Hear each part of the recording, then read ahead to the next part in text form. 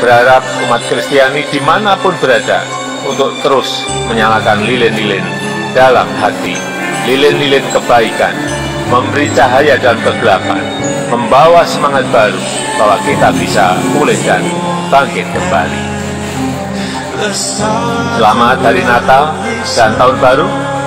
Semoga cahaya sang terang selalu menuntun setiap langkah kita. Terima kasih.